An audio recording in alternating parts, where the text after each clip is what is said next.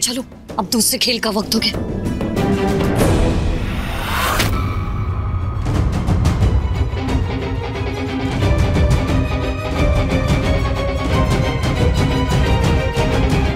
कौन कम्बक बोला कि गोदाम में चोरी हो गया है? यहाँ तो सब ठीक लग रहा है। हाँ वर्मा जी।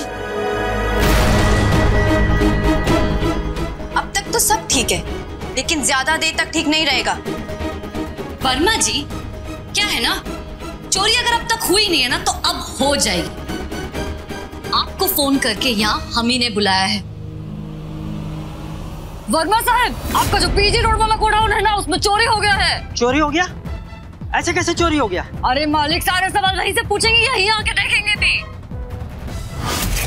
जल्दी आइए।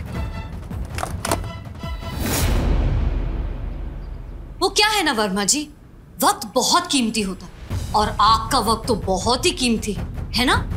इसलिए बेहतर ये होगा कि आप सच कहें। ये सब का नौटंकी है? हमारा पैसा कहाँ है? पैसे का हिसाब तो हम बाद में करेंगे वर्मा जी। पहले आप ये बताइए कि आप किसके इशारों पे काम कर रहे हैं? क्या बकवास कर रही हो? हम काय किसी के इशारे पे काम करेंगे? यहाँ आके मज़ाक करने से तो अच्छा है अपनी माँ को जाके बोलो कि हमारा पैसा वापस करे। नहीं तो तुम सब जेल जाने के लिए तैयार रहो। वर्मा जी हमारी मुस्कान ने आपको फ़ोन पर बात करते हुए सुना है। और जिसके कहने पर आप हमारी माँ पर प्रेशर डाल रहे पैसे देने के लिए। कौन है वो वर्मा जी? वो क्या है ना वर्मा जी? अगर आप झूठ बोलोगे तो आपका पाप बढ़ेगा अगर सच बोलोगे तो पुण्य। अब क्या है कि आप ठहरे बिजनेसमैन आदमी। हम्म? घाटे का सौदा तो आप करोगे ही नहीं ना। अब अच्छा ये होगा तुम सच सच बता दो कि तुम ये सब कुछ गुड्डू मिश्रा और उसके बेटों के कहने पे कर रहे हो। हम किसी के कहने पे कुछ नहीं कर रहे हैं। तुम्हारे सिलाई सेंटर में हमारा माल जला। हर जाना ना देना पड़े इसलिए तुम ये सब नाटक कर रही हो। तुम जैसी बिगड़ैल लड़कियों का इलाज है हमारे पास। बीमार तुम हो और इलाज हमारे करने की बात कर रहे हो? तो? अरे शंभू मैं सबका मर गए तो बाहर निकालो।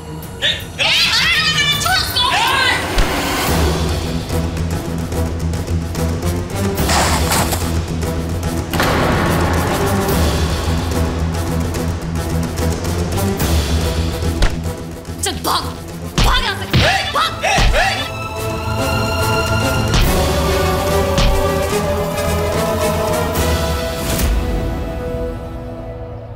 वर्मा हम सच जाने बिना यहाँ से नहीं जाएँगे। दीदी ये देखिए।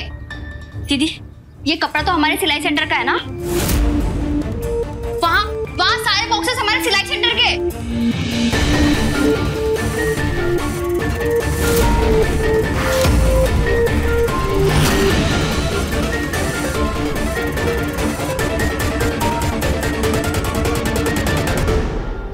इसका मतलब हमारा माल कभी जला ही नहीं था।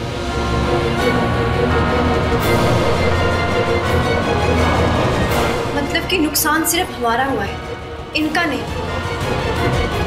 दीदी तो बात साफ़ है।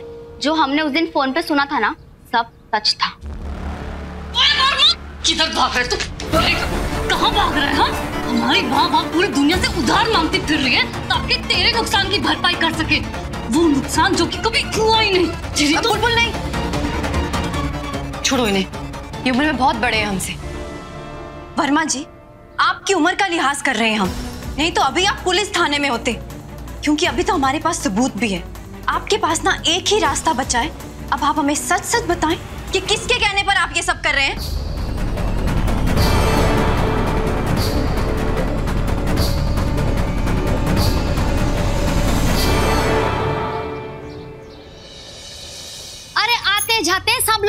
ताना मारते हैं कि आपकी भौजी और भतीजियाँ ऐसा काम करती है।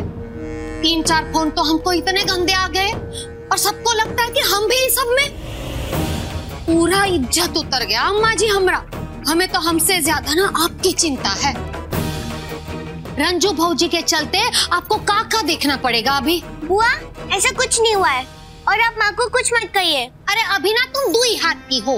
दुनियादारी नहीं समझोगी। आज के कारनामे के बाद ना लोग तुम्हारा जीना हराम कर देंगे। लोगों का तो मालूम नहीं दीदी। पर आपसे ऐसे ताने की उम्मीद नहीं थी हमका हमें तो लगा आप हमारी हिम्मत बढ़ाएँगी लेकिन आप तो अरे भाऊजी आप कैसी बात कर रही हैं? सवेरे से ना हम पाँच छह अखबार फाड़ चुके हैं। भाऊजी हम तो आपके साथ ही हैं। हमरा कहने का मतलब ही था कि ई माहौल में ना अम्मा का यहाँ रहना ठीक नहीं है। जब से ये अखबार में आया कल उसी अखबार में माफीनामा भी छप जाएगा दीदी। भाऊजी हम तो ये कहते हैं कि जवानी और इज़्ज़त दोनों एक बार उतर जाए ना तो वापस नहीं चढ़ती। हाँ। भाऊजी आप अपनी लड़कियों को लेकर ना मुजफ्फरपुर से चले जाइए कहीं पे वरना लोग ना ताने दे देकर आपका जीना हराम कर देंगे। लोगों के ताने तो सह लेंगे बुआ। लेकिन अपनों के धोखे का क्या करें?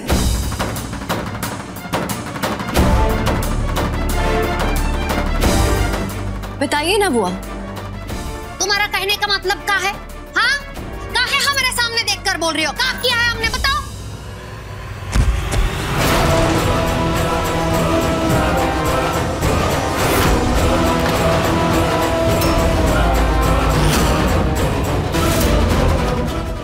ये वर्मा कहाँ से आ गया यहाँ? बुआ जी आपने क्या किया है वो ये वर्मा जी बताएँगे। अरे भौरिया ये सब का है? का किया है जमुनिया ने और ये वर्मा? वर्मा का लेने आया है? दादी ये सब तो वर्मा खुद बताएगा। अब आप ऐसे ही कथा सुनाना शुरू करेंगे या ढोल हारमोनियम मंगवाएँ? हम बताते हैं। हम ललिता मिश्रा के कहने पर सेंटर में आग लगवाए थे।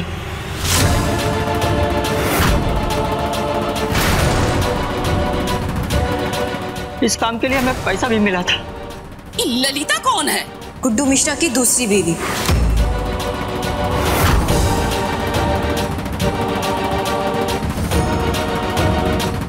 हाँ माँ। ये सच है कि हम पर भगवान का नहीं, इंसान का गुस्सा फुटा है।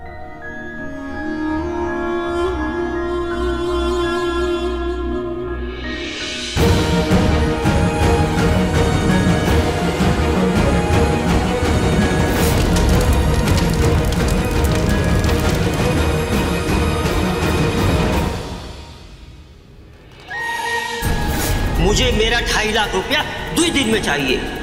अगर ऐसा नहीं हुआ ना तो हमको मजबूरन पुलिस का मदद लेना पड़ेगा।